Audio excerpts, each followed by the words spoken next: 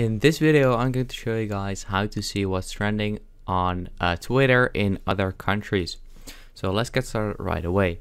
Now, go to twitter.com and make sure you're logged into your account, of course. And then go to explore. And then right here, this is uh, trending in my country, uh, as you guys can see right there.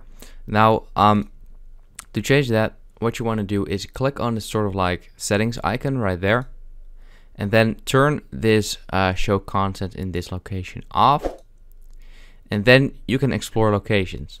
Now um, you can choose basically any country uh, you want so that's pretty cool.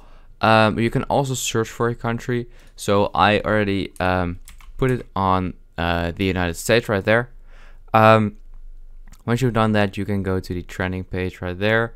And then um, yeah see what's trending in uh, the US. So that is basically it. Um, I hope this video helped you out. Please leave a like and let me know in the comments if it worked. And I'll see you next time. Have a good day.